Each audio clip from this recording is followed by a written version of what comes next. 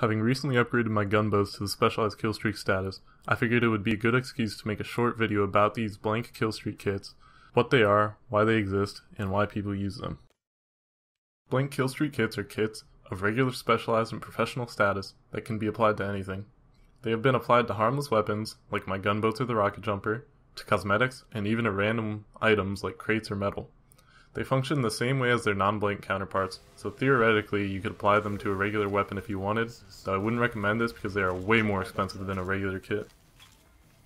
These kits are the products of a glitch that existed in the game for a brief period of time after the Gun Mettle update. I emphasize brief because the glitch that enabled these fascinating things to exist was patched after only a few hours, resulting in only a few hundred of these glitch kits. You can still find these kits and fabricators on the community market and probably trading sites, so they really do behave exactly like regular kits and fabricators, with the exception of their ability to be used on anything. Now most people don't use these kits like you would use a regular kit. I don't expect to kill people with my gunboats as I would kill someone with my rocket launcher. In fact, most of these items you can't even see the sheen of a specialized or professional killstreak kit, so then why do people use these and pay so much for them? For many items it's simply because they can. But items like the rocket jumper, gunboats, the bonk helm, or a small list of other items are an exception to this. The items I just listed actually do show the sheen effect because for whatever reason, those items include the code for the sheen.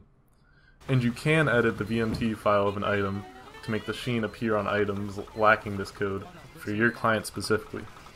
The eye effects, however, that are associated with professional killstreak kits are actually not contained in the VMT files of items, so in theory you should be able to see them regardless of what item they're on, though some people have reportedly said that you can't actually see them, and those kits are too expensive for me to want to test them on my own.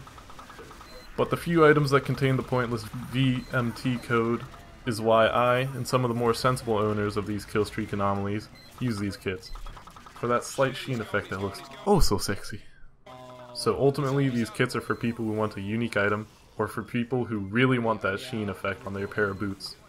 Whether they're worth it or not is personal opinion, oh and who would I be to tell you what to think? Though I will say my gunboats are pretty fly,